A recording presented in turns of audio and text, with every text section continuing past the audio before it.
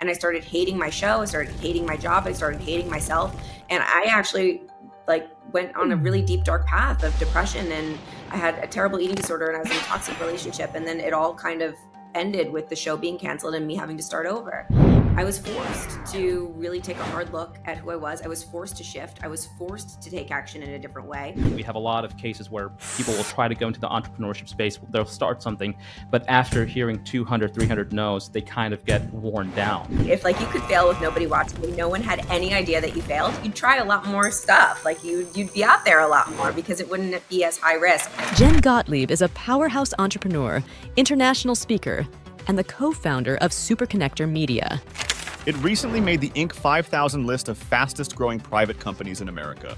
Jen has been named one of the top 50 speakers in the world by Real Leaders magazine. She is the author of Be Seen Find Your Voice, Build Your Brand, Live Your Dream a national bestseller that's empowering people to step into their spotlight. I made it through and it forced me to uplevel and it forced me to change my life. The more that we can move through it to the other side and get from the shit to the shift. It was 100% necessary to have that temporary discomfort and that temporary depression and that temporary low. The, the most growth does not come from the easy times. That it just doesn't. If you look back at your life, it's always from the hardest times. The Avenue of the Strongest is a podcast dedicated to exploring the lives and experiences of the most inspiring individuals from around the world. Each episode features interviews with fascinating guests who share their insights and wisdom on a variety of topics, including education, impact, motivation, health, and learning. Here are your hosts, Anayet Chowdhury and Vlad Suleiman. Over the last year, 86.6% of our regular viewers have not yet hit the subscription button. Your subscription means a lot to us. It's a small gesture on your end and a huge leap forward for our channel. If you wouldn't mind, we would love to ask you if you found our channel informative and engaging, if you can please hit that subscription button. Your subscription means a lot to us. It allows us to go ahead and continue to put out great content, better guests, and as always, we will always put out two episodes per week. Thank you so much. Jen, welcome to the show. Thanks for having me. So excited to be here. Yeah, I wanted to start the conversation by first kind of talking about acting. My wife used to be an actor before she transitioned into the corporate world. But my first question is many people would think that transitioning from acting into the world of entrepreneurship sounds like a significant shift, but there's actually so many transferable skills between the two. I personally think there's so many overlapping things from an actor and being an entrepreneur. But were there any key skills or lessons that you learned from your acting career that kind of shifted over into the entrepreneurship space? A thousand percent. I actually, now that I look back, I really realize how much of a little mini entrepreneur I was when I was an actor because you are always marketing yourself. You're always selling yourself every single day and you're always figuring out how to get essentially the next client. So you could look at acting like a business. Like it is my acting business and my next client is my next job. And I have to sell myself and market myself in order to be chosen to get that next job. So I was always having that, that little bit of business entrepreneurship mentality mentality. But the number one lesson that I learned from being an actress, there's a couple of them, but the number one that I, I bring with me now every single day of my life is how to have a better relationship with rejection because what I've learned now as an mm, entrepreneur yeah. is something that is 100% certain is that I'm going to get rejected pretty way way way more than i'm going to get a win way more than i'm going to get a yes whether that means a failure in something right. that i'm trying to do or maybe um, getting rejected from a, a, a, potential client a potential partnership a potential speaking engagement a potential uh, investor absolutely anything that i'm doing in business there is a higher chance of rejection than there is of uh, yes we absolutely want to work with you and i'm really i have to say like i'm not good at a ton of things I'm really good at this thing. I'm really good at hearing no, and I'm really good at how having that rejection really turn into redirection and fuel me in order to get the yes in a different way. And the only reason I'm good at that is because I spent years just getting rejected every day, multiple times a day. From going from audition right. to audition to audition, you're not good enough, you're not tall enough, you're not blonde enough, you're not this enough, and just it it just uh, when you hear it over and over and over again, uh, it becomes a lot easier to understand that that's a part of life. And so I'm so grateful that I moved into this career now as an entrepreneur and business owner and speaker and author, where you get heard no just as much with these lessons ingrained in me because I, I truly do believe that it's really, really helped me to move past it a lot faster than the majority of entrepreneurs in our space uh, because I have all that experience of hearing no. yeah, I mean, honestly, being able to face rejection and continue trying and trying, I think is one of the top, top qualities that anyone needs to be an entrepreneur. I mean, I can't tell you the number of times we got rejected, but you can't ever succeed in your first shot or second shot or third. You know, people are going to always say no. And those entrepreneurs that you hear stories about, are good at facing rejections or they don't at least maybe they're not good about it but they never let them stop it right? We have a lot of cases where people will try to go into the entrepreneurship space they'll start something but after hearing 200 300 no's they kind of get worn down which is very understandable right? Imagine it let's just say you're a company you're, you're trying to raise startup funds. 300 no's is is a lot.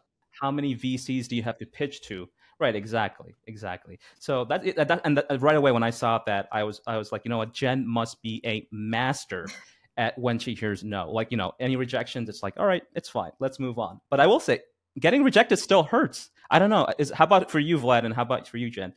Right, it still hurts. It hurts. It, it, it's just, uh, you know, this this point of that actors and and entrepreneurs have a lot in common made me think why why in schools in business school they not you know teach you acting? Actually it would mm. be very nice to have in a business school the acting acting oh, classes a... because every time you go to any business meeting you have to act. And every business meeting is different from each other's uh, on one you have to be strong on another one you have to be soft on vice versa. So you have to know how to how to behave. Actually it's a very nice point. Is, did you yeah I, I would i would actually disagree on that and I would go in another direction with that. But before I do, I do want to tell you my trick for uh, rejection, which I think that your listeners actually might enjoy and they might want to do it for themselves. I, I love giving uh, tangible, tactical advice that people can use. So, what I do now to help me with the rejections, it's this weird thing that I started doing that is like really helpful because I noticed that when I look back at my acting career or I look back at my career and I connect the dots as to why I got a no for something, it was secretly just because I was supposed to get a yes for something else. Because if I would have gotten a yes for that thing, mm. maybe it wouldn't have opened the opportunity for something better better eventually to come along.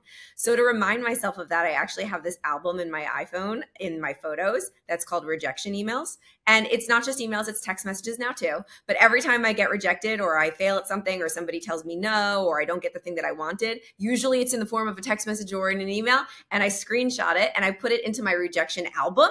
And I go back and I read them all the time. And I read them to help me have a better relationship with them because I feel like if I can giggle and laugh and be like, oh, yeah, you're telling me no now, but I bet I'm going to look back at this email years from now and understand why this was a no because it was secretly leading me to something else. And the cool thing is, is I have been able to go into that album now that I've been doing it for so long and look at some of the emails that I got years ago that were, you know, no, we're, we're going to pass. And then those same people reached out to me later on and said, you know what, we're just kidding. We want to reach out now mm-hmm. because I've grown and I've developed my career a little bit more. I'm at a position where I'm a little bit re- more ready for that opportunity. So it's, it's a really cool thing to do to help just uh, make your relationship with rejection a little bit better, a little bit more fun, a little bit more playful. Like, this is what's going to happen anyway. So, why don't I collect all of these? And then I can say things like, oh, you know what? When you want me back next year, I'm going to be a lot more expensive. So, you know what? It's fine. I'm going to mm-hmm. screenshot this. I'm going to save it for a rainy day. I'm going to read it and I'm going to laugh and giggle at it. But I will, Vlad, I want to make a point with what you said about acting in meetings. Yeah. So, one thing that I have learned um, over my entire journey of being an actress and always portraying somebody that I thought everybody else needed me to be in my life. I was on a TV show about heavy metal music for five years. And I don't like heavy metal music at all. So, for five years, I had this really great job, this really great gig on this popular TV show on a popular network. And the the crazy thing was about this is that I wasn't necessarily playing a character. It was a talk show, so I was being myself, but I was playing a version of myself that wasn't real. It was a fake version of me. And it was a version of me where I was acting and pretending to be somebody that I thought I needed to be for all of these people that were watching the show and the producers and the network and everything to, to like me and to believe in whatever I was doing and to choose me and to make me feel important and to make me feel valued.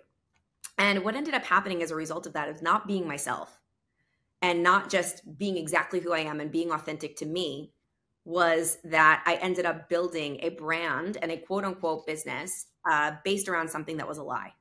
And a lot of bad things happen when you do that. Number one, you are I was unbelievably exhausted because I was trying to keep up with this version of myself that wasn't real. And when you have to do that, that's really tiring and, and it's not authentic. And so it feels exhausting every day. And then number two, I had this audience of people that liked me for something that wasn't me. So I was essentially mm. inauthentic within myself and with them. And it just didn't work. It didn't click. And every day I woke up and I was in this constant battle within my real self. Like, what's going to happen when this show goes away? Who am I really? And it's so hard for me to keep up this face of being somebody that I'm not and, and being a person that's not, not who I am. How am I going to keep doing this forever and ever and ever? And I started hating my show. I started hating my job. I started hating myself. And I actually mm. like went on a really deep dark path of depression and I had a terrible eating disorder and I was in a toxic relationship and then it all kind of ended with the show being canceled and me having to start over. And I do believe that in business, especially today, when you're building a brand and you're showing up in meetings and you're showing up on podcasts and you're showing up on stages or you're in a in a meeting trying to raise money, you always want to be your most authentic self. You don't want to act. You don't right. want to be a character. You don't want to be somebody that you're not because if you do that, you're going to attract opportunities that aren't in alignment with who you really are. You're going to attract partnerships that aren't in alignment with who you really are and you're going to wake up one day years from there and you're like, "Oh my god, this is not good. I don't like it and I don't like my business and I don't like my job and I don't like who I am and I need to start over. So I always say that you need to be you. You need to be seen as exactly who you are, be true to who you are. And those opportunities that aren't for you, that's great. That's amazing. They're going to go find somebody else that's more in alignment with them. And don't act and pretend and try to be somebody that you're not for other people. It never ends up uh, being a win. This podcast is sponsored by ArgoPrep, an award winning educational publisher serving over a million students nationwide.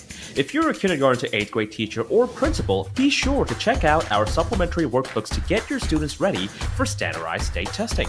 We cover all subjects from kindergarten to 8th grade. Use the coupon code AVENUE for a 25% discount off of all purchase orders. Visit us today at argoprep.com slash store. Oh, 100%. Sorry, agree. 100%. I'm going to. No, no, no. it, it, w- what I meant, it, it was not you have to pretend to be somebody else. What I meant is to be able even to present yourself who you really are because this is really because this yeah, is really hard does a great job in teaching you communication right. skills how to present how to how to handle yourself in stressful situations because a lot of people when it's stress they just forget the information. They just you know they don't want to appear there. They just want to lay down in their bed not even going to take the meeting or you know. So this kind of training would help entrepreneurs in their business. This is what i meant. Definitely. Like developing confidence being able to get in front of people and speak in front right. of people a hundred percent. Mm-hmm. i agree yeah. with that part. And also i wanted to add to the point that um that we that we have a fear that we have a fear of rejection. Usually, I think it comes from the uh, from the childhood. We have it because every time when child comes to us, I have to I have two kids, and a lot of time I also do these mistakes. Every time they trying to ask me something, I say no.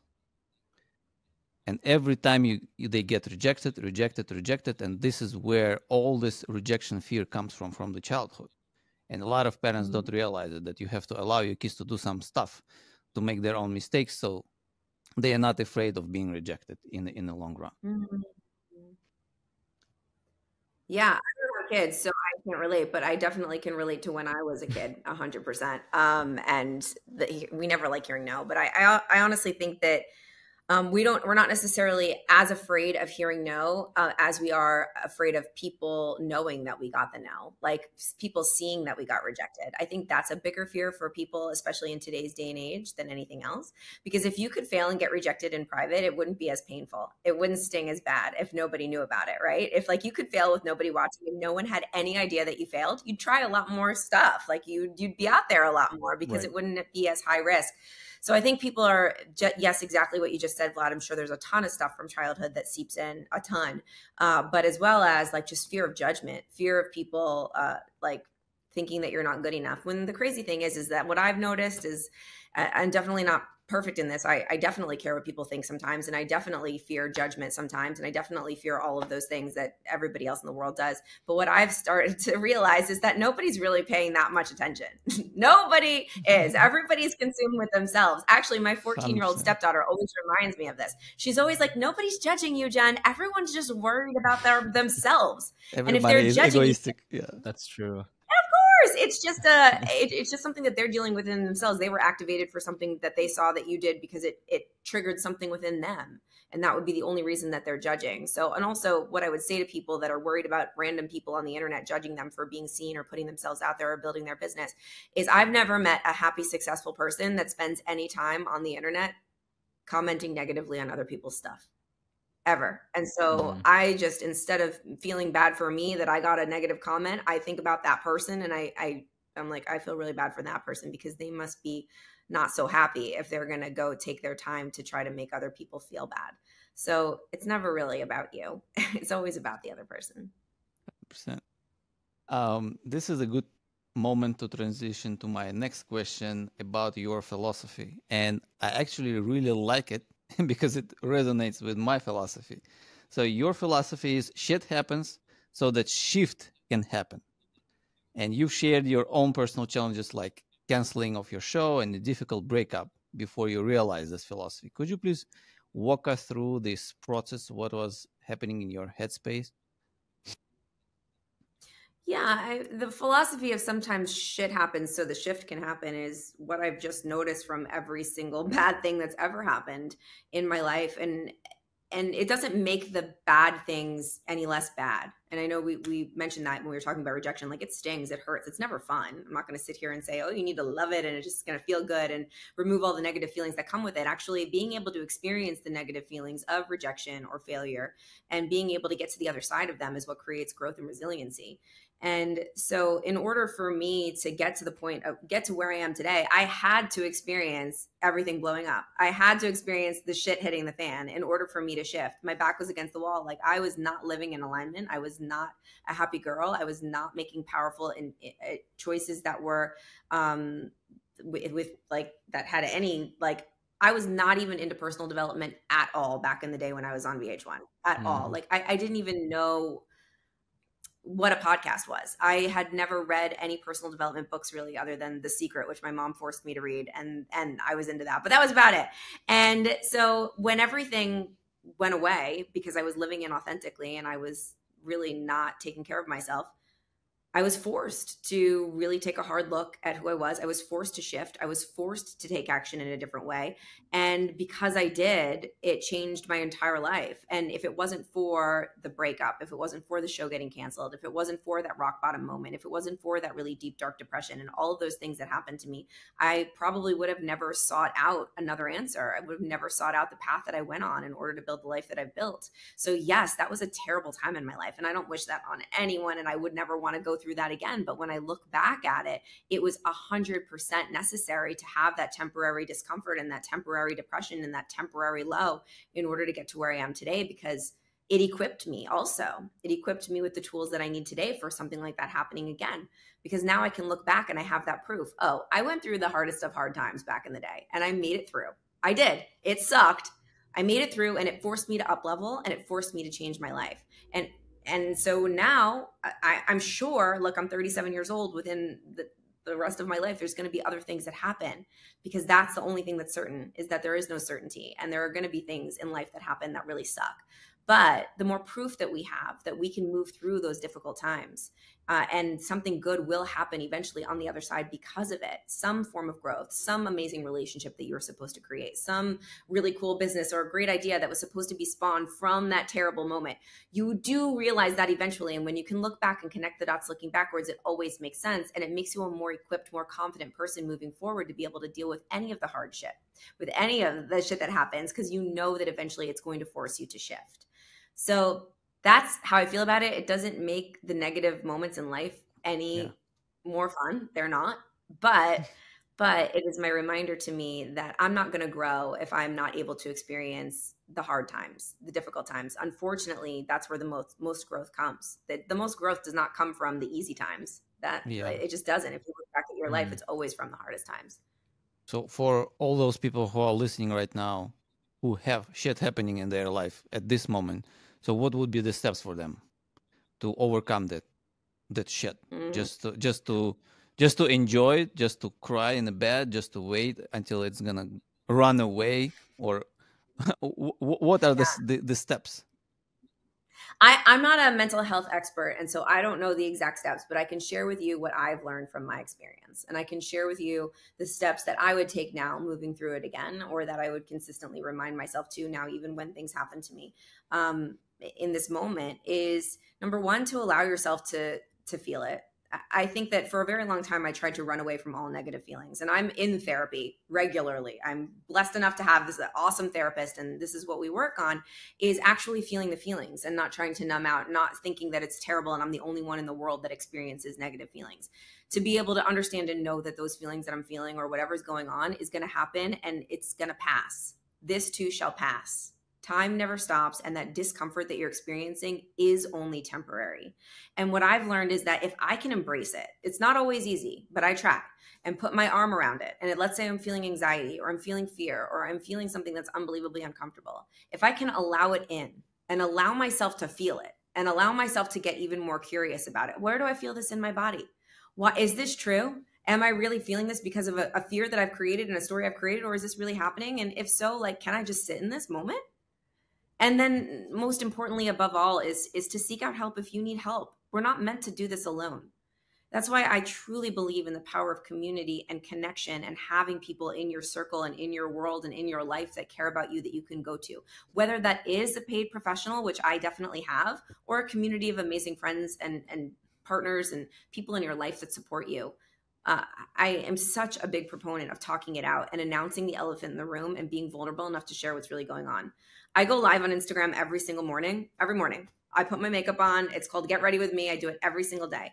And I make sure that on those Instagram lives, I don't necessarily say, let's say I'm going through something unbelievably, terribly traumatic and it's not ready to be shared. I don't talk about that, but I definitely talk about the real feelings that I'm experiencing just so that people don't feel alone if they're struggling. I think one of the biggest problems is that people think that they're struggling by themselves alone because they're scrolling social media and they're looking at highlight reels of everybody's Mhm. perfect lives and they're just seeing a snapshot of something awesome that happened, but you have no idea what's really going on behind the scenes. So when people are struggling, they feel like they're struggling alone. So I do my best to get on live and be like, listen, this is what I went through yesterday. Like I felt so anxious. I couldn't sleep. You know, I don't necessarily need to share the experience of what happened if it's not ready to be shared. I don't think that that's a good idea, but being open about what you're feeling and understanding and knowing that these are normal feelings that humans have and they are temporary and they suck and they're no fun. But the more that we can come together and be connected and talk about it and talk to each other and reach out for help, that's the most important thing. Ask for help. You're not alone. The more that we can move through it to the other side and get from the shit to the shift. You know, I I love the point when you said that you have to enjoy and understand your feelings. I also went through the breakup, and I know at that time, oh my god, I was enjoying my my stress. I was crying every day, but I was enjoying. but my but my but my tip would be to exercise. At that time, for Yep. me personally, the exercising this is what helped me really, because I wa- I was doing exercises like six hours a day every day for two three months instead of you know just going to the bars, crying, drinking, going more down. I agree. I That's a lot every of day. time. Six hours a Yeah, day not six exercising. I I, I need I lot. needed because I was I was you, you can't imagine how I was crying. Did you do anything else? Six hours a day. Jeez. yeah. Jen, I want to talk a little bit more uh, more about your company, Superconnector Media. Yeah. Now, you've successfully built a strong personal brand. I want to kind of start off first with can you address what are some common misconceptions that people have about building a personal brand? And I know one of the key points we hit on already was the authenticity part, but are there any other uh, common misconceptions about starting a personal brand?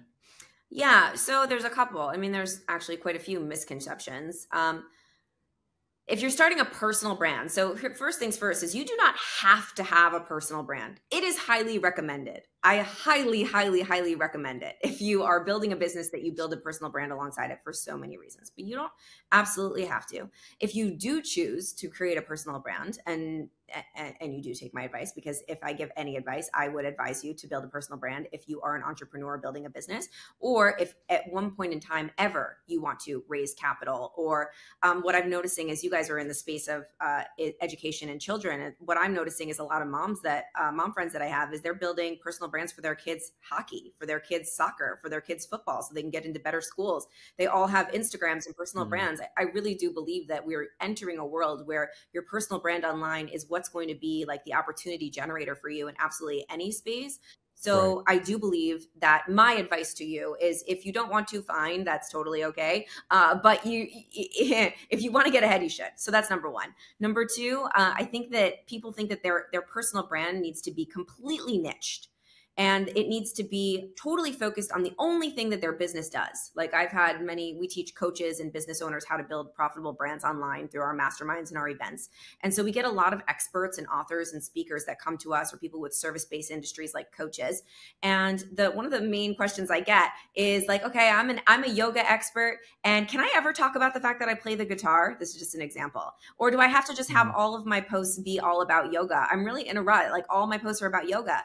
And what I say to them them is that the thing that separates you from every other yoga instructor is not because you can do a better downward mm. dog. There's always going to be somebody that's going to do a better downward dog than you. There's always going to be somebody that does the exact same thing as you and probably does it better. But here's the thing that I can guarantee there is only one you, the way you speak, your hobbies, your story, your unique uh, situation at home, the things that you like to do, the way that you communicate. This law goes back to why you shouldn't act in business and in meetings, because the thing that's going to make you stand out, the thing that's going to make certain people attracted to just you as their yoga expert and not somebody else, is maybe because you're an awesome guitarist and you play these amazing songs and they love it because they're also a musician and they do yoga too and they love your music too. Or for me, right. like I talk about a lot of things. I, I, I wrote a book called Be Seen, and I teach branding, and I teach entrepreneurship, and I teach visibility and mindset. But I also love talking about manifesting. I also have three dogs, and I'm a New Yorker. I also love to work out and lift heavy weights. Uh, I also love to watch baking shows, even though I don't bake. I also love to watch 90 Day Fiance. Like there are all these things about me that make people like, oh my gosh, Jen, me too, me too. And so I uh, I like to tell people that your personal brand can number one evolve with you. So you don't always have to be niched in and stay exactly where you are. People love to come along the journey and watch your brand evolve and watch yourself grow. So if you go from being a yoga instructor to being a personal development coach that's a-okay take people along for the journey. You don't have to be stuck in that one version of you that you've built a long time ago. Number two a personal brand is not just colors and fonts and and those things. It actually is who you are and your story. So don't just niche into the thing that you talk about talk about the things that make you unique. Talk about your life. Talk about the your favorite things. Talk about things other than your niche to make you stand out and make you different and um and be consistent that's the other key that i would give i think i see a lot of people that are building mm-hmm. brands mm. online and they're using social media but they're using it for a week and then they're not seeing the results that they want to see and then they're dropping off for two mm. weeks and then they're re re re-emerging two weeks later and they're like oh i took a break from social media but now i'm back because i was reminded that i should be doing this i'm going to try again unfortunately uh, building a brand online takes a ton of time and a ton of patience. It looks like it was immediate for a lot of people, but I'm seeing that people are often comparing their chapter one to somebody else's chapter 20. They're comparing their very first post right. that's not getting any engagement, of course, to somebody that's been doing it for 10 years, that's been doing posting every single day. When I first started doing my Instagram live in the morning, like one person showed up. Nobody showed up, but right. I kept doing it and I kept doing it no matter what. And if I would have stopped, because no one was showing up, then I wouldn't have gotten to the point where I am now, where thousands of people are watching me every single day. But I had to keep going and keep going and keep going. It's persistence, it's consistency. And you need to show your people that are following you that you're going to be there every single day providing content. And that takes a really long time and it takes mm. patience and it's not an overnight thing. Why do we always compare ourselves with somebody else? Huh? God, this is the thing. This is what's holding everybody back. This is really good advice, and I I one thousand percent agree with you on the fact that it is very important to build a personal brand now more than ever. I mean, even if you're running a company, right, the consumer behavior has shifted. They they buy more into personal brands. If you're stating it from a personal brand, they're much more likely to buy it than just a company advertising it. I mean, we've seen it across the board. Uh, what kind of advice would you give to those people? So I'll give you a, a very good example. Let's just say me, for example.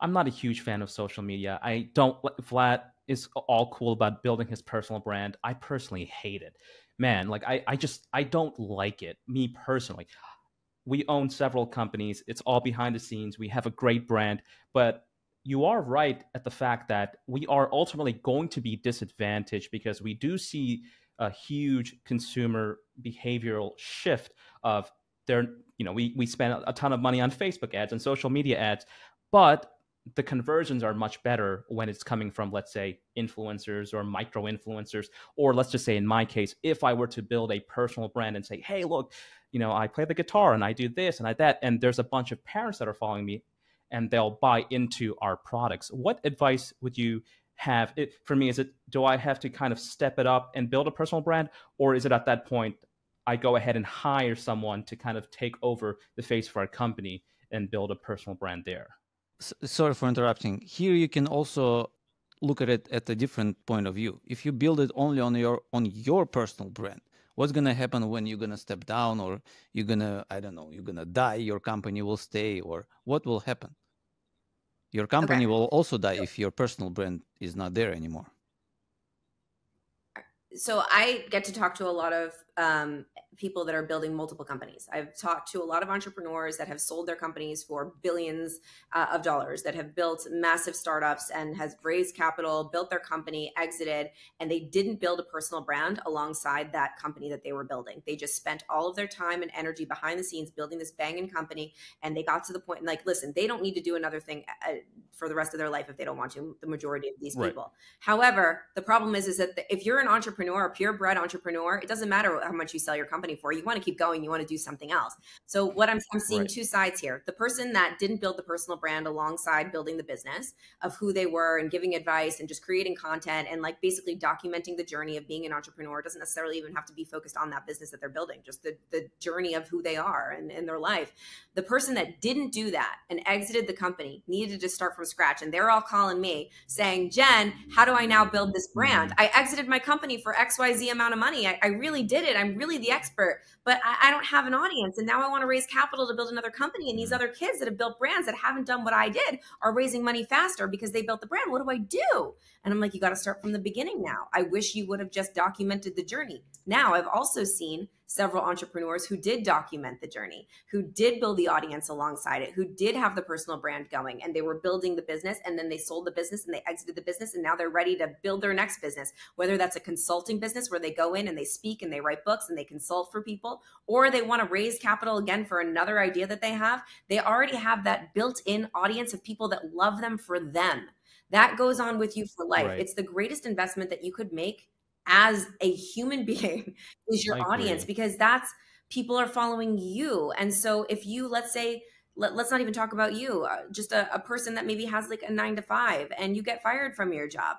And the next job that you want to get is actually like a really cool startup where you're creating content. I'm just making an example. You want to be the director of marketing for a cool startup and you're creating content. At least you've been building your personal brand for a long time so that they can go see what you've been doing and you already have an audience. Let's talk about actors Actors are now going into auditions and they're asking, How many followers do you have? They're hiring the actor that hmm. has the bigger audience now for the job over the actor that did a better job than them in the audition. And I know that for sure because I've had conversations with people that are like, they're only caring because they want eyeballs. They want someone that has a built in audience. And I know that investors are right. also looking at that when they're um, when they're when people are raising capital and when they're investing in companies. I'm looking at that.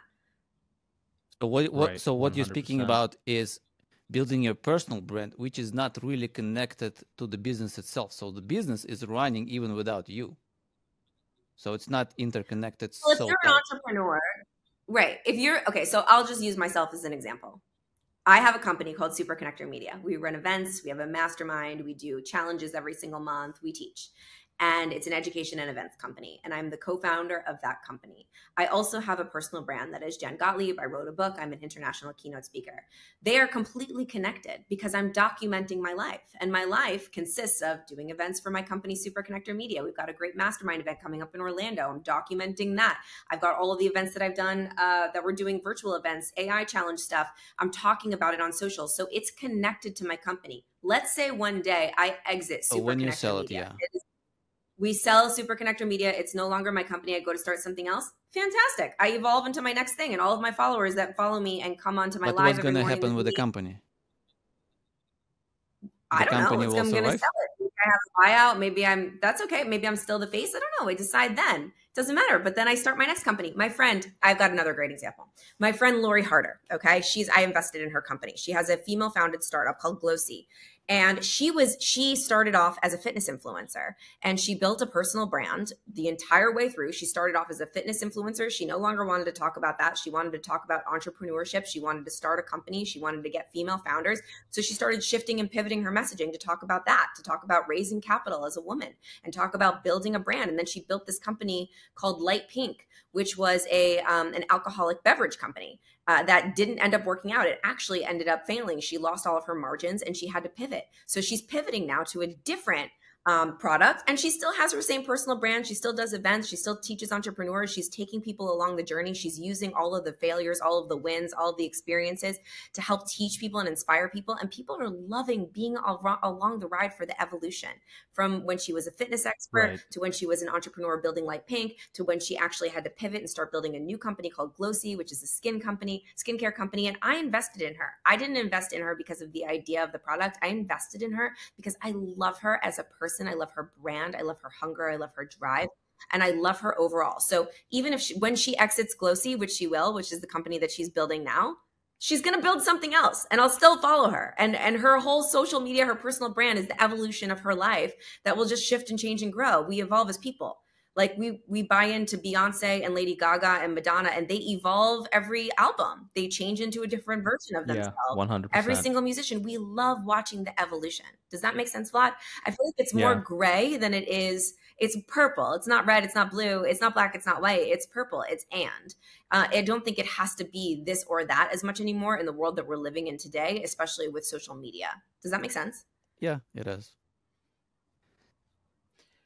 I, I want to focus a little bit more, uh, more on authenticity. Now, in a recent podcast interview, you mentioned the importance of showcasing your credibility and influence. How do you recommend entrepreneurs or professionals to do this without coming ac- across as boastful? Yeah. Um so I think like you guys do this really well. Like you don't come off boastful at all. And you talk about yourselves and you market yourselves and you've got a podcast. I think that um, my husband always says this to me actually. He's like, if, if you're worried about being braggy, you're probably not a bragger. Because people that are right, Mhm. that are braggers, like they don't worry about bragging. And if you're if you're based in service, if you're based and you're just focused on helping people, we use the acronym HOPE, help one person every day. And you're really just focusing on helping people. And that's why you're sharing content. That's why you're get going on Instagram. That's why you're going on TikTok. That's why you're going on Facebook. That's why you're creating content is because your why is to help someone. And you go online and you create content focused on that. And you understand that sales is service. And you understand that the more that you get yourself out there, the more people you can help. And the more that you sell, the more people that you can help sales suddenly does not feel sleazy and slimy and braggadocious. It actually is Mm. very much from a service standpoint, and it helps also for Right. uh, for me. Like I, I used to struggle with that a lot. Like I never used to want to talk about what I did when I first started building my first business because I was like, oh, I don't want to be salesy or braggy or like talk about myself. I don't like that. That makes me feel uncomfortable. But when I shifted it into Mm. all right, there's one girl that's listening right now. I'm thinking about her and I'm just going to help her. I'm, I'm going to tell her like what I wish that I would have heard from somebody. And I'm going to provide content and value to her and understand and know that if I'm not making myself visible to the person that I can help, they're going to go pay someone else or follow someone else that's not as good as me and doesn't care as much as me, probably because I'm too into Mm. myself or worried about being braggy or worried about being salesy. So, what we tell people a lot is it's your responsibility to be visible. And if you're worried about being a bragger, that's good news. It means you're never going to come off braggy. Mm. That's a great answer. Yeah. I'll pass it over to you. Yeah, Vlad. I would like to speak about the uh, public speaking. So, for those who struggle with the self confidence, what advice can you give when they go and have like public speaking? How to overcome their fear? Yeah, same thing from what I just said. Um, I find that I always ask people, like, do you ever get nervous when you're just at coffee with a friend and they ask you for help and you talk to them? Do you ever forget what to say or get nervous or trip up over your words? They're always like, no, because I, I know I don't. Like if we if we were all just sitting at lunch and you were like, oh, could you give me advice on social media or whatever I talk about? I'd be like, sure, let's go. I'll help you right now. And I would I would be able to speak totally perfectly and probably give you a great keynote speech, right? Helping you. But for some right. reason, when we get on stage, we get all scared and we get nervous. And that's totally normal. I think that's like this number one biggest fear in the world or something, or the number two biggest fear, uh, common, com- like common fear is public speaking. And I believe it's because we are so worried about what people will think of us and what we look like and what we sound like and if we're good enough. And we're focusing on the wrong thing because when you're sitting at lunch with a friend and they need advice and you're helping that friend, you're not thinking about yourself. You're just thinking mm-hmm. about your friend, and that's why right. you're not nervous. So I use this exact same concept help one person every day. Think about the person in the audience that you're providing value to. Whoever it is, I always, whenever before I speak, I always think about one person in the audience. I don't just speak to that one person because that'd be a shitty keynote, but I think about that one person and I think that I'm just talking to them and I'm having a conversation with them and I'm helping them. And it helps me to remove my ego and i just i'm just like just provide value. It's not about me. It's about helping that one person. And that helps to remove the nerves. It doesn't completely remove the nerves. They're always there a little bit. And that goes back to the topic we were talking about earlier where you want to put your arm around the fear put your arm around the anxiety bring it along with you embrace it and then just let go. And like i say always say god speak to me and through me and trust and know that i can provide value to one person in this room. And that always helps me. Yeah thank that's yeah. great. That's great advice. Uh, you know before before the interview um i was going through the questions and it reminded me my story i want to speak about creating before having principle. So in one of the interviews you mentioned that uh like you was meditating and you creating your future husband in your mind before meeting chris. And it reminded me my story because it's kind of same. I was meditating for a long time to imagining my wife, my kids, how my kids would look like. And actually, everything happened, you know, exactly how I was imagining my kids. They even look same as in my meditation. So, could you please elaborate on this principle? How did you do that? I love that. Congrats. That's awesome. Uh, yeah. So I talk about it in the book a lot, uh, and I call it the creation process. And many people will think of it uh, like manifestation or manifesting or visualizing what you want. Uh, I like to call it co creating, co creating with the universe. And I believe that's what you did, Vlad. You co created. And I don't think uh, you got all of those magical things because you just visualized them and they appeared because you visualized them. I don't think so. I believe that the way that that works is visualization is one of the many tools that we can use to help reprogram our subconscious mind and reprogram our beliefs because our actions that we take in life are really dictated by our subconscious beliefs what we believe we're capable of doing right like if we're too scared to go up to that that person at the bar and talk to them and say hi and give them your number. Uh, if you believe that you're not good enough to do that, you're never going to do it. And then that might hold you back from meeting your soulmate forever because you have that limiting belief or that fear that you can't go up to somebody and talk to them. But if you have visualized night after night after night that you are in love, in this amazing relationship, you are like so happy. For me, when I was doing that with my, before I met my husband, Chris, uh, similar to you, Vlad, I would visualize uh, being with him, taking walks with him. I would have conversations with him. And what that did was it reprogrammed my subconscious to believe that I was in a relationship, to believe that I was capable of this, to believe that it was real for me. And it helped me to be a lot less afraid of it of calling someone in, of having conversations with people, of going on dates. And it helped make the action steps a lot easier. And when you reprogram the subconscious to believe that you have something before it's already yours, it makes the opportunities for getting that thing a lot more noticeable. And it's like, oh, yeah, wait, I did that in my mind. I think I'm going to go do that now. Or like when I met my husband on the first day, I was like, oh, here he is. I recognized him and I was able to accept him and bring him in rather than pushing him away like I might have done if I didn't do that before. Hmm. You know, I love the point that you have to do action because a lot of people they just want to manifest, meditate, and do shit. They're just waiting until it's gonna happen. No way. Just get up, go and do something at least towards your manifestation, whatever you was hoping for. Yes, we're on the same page. It takes action. There's a section in my book called The Law of Action. You cannot have the law of attraction without action. And if you look back, Vlad, I'm sure you could look at all of the moments that you had to take action on something in order to to get your wife. Like I know you probably had to do a lot of scary things. And I bet you that your visualizing helped you subconsciously or subconsciously be able to take action to do all of those things. Uh, and i'm sure that it helped. like that it's your it was your tool to get you to yeah. take action. How many kids do you have? Two. Two. Two kids yeah. Beautiful. six and three. Ah. Oh, congrats so jen since we're talking about your book congrats of course on your book i know it was just released not even a month ago right mm-hmm uh, and it's a huge hit. So congrats on that. Uh, we're talking about your book titled "Be Seen." What I want to very briefly ask: Who is this book for? What is the takeaway messages that you you hope your readers uh, will take away from this book? Yeah.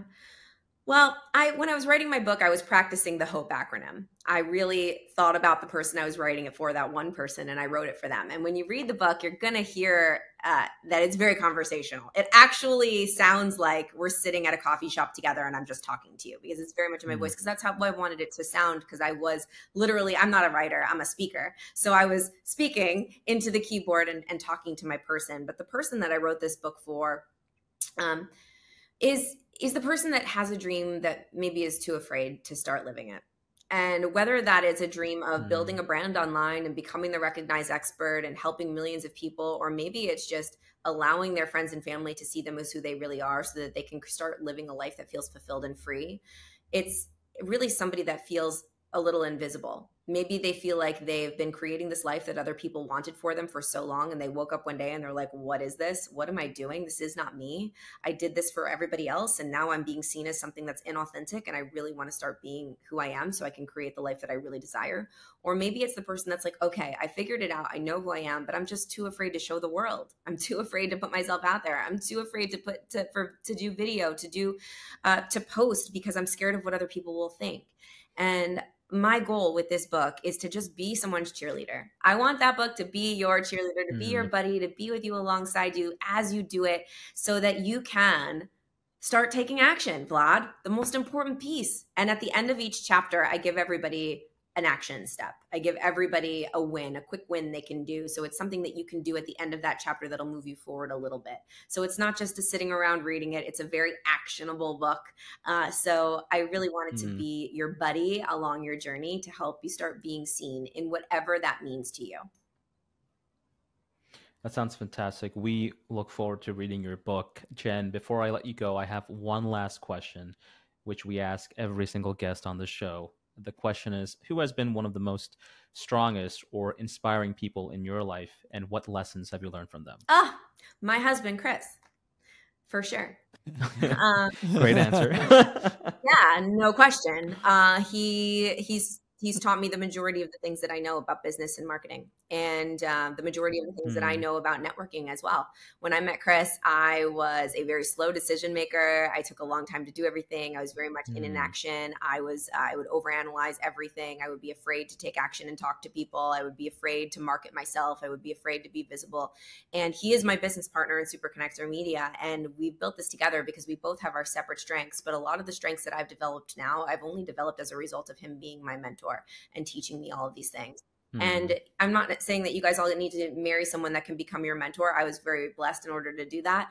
Uh, but find somebody that can be your mentor because I've grown so much uh, knowing what I didn't know and being open enough to learn, even if he has to like pull it out of me, which sometimes has to happen. He has to force me to do things and I resist it because, of course, like we resist from our significant other. But um, yeah, if you don't follow my husband Chris Winfield, he's an AI expert and um, he's the he's the backbone of this entire company. And uh, if he his nudges and his expertise and his mentorship and his teachings to me um, are a lot of what I what I do and the reason that I do what I do and, and the reason that I was able to really fully start being seen as as my fullest, most authentic version of myself and that I'm still mm. growing into. So for sure, hands down. Thanks. Thank you for sharing that. that's why we love that question because it kind of gives a deeper insight into you instead of you know some of the questions jen thank you so much for spending some time with us again uh, for those of you who are interested please be sure to check out jen's new published and released book called be seen find your voice find your voice, build your brand, live your dream. And of course, you can find that on uh, any kind of uh, retail channels like Amazon, Barnes and Noble. And I, I, know you also have a website, Jen. Do you want to quickly mention that? Sure. BeSeenBook.com. They can go there too. Okay, fantastic. Jen, it has been a pleasure. Thank, Thank you, you so much. You guys are amazing. So fun. Thank you.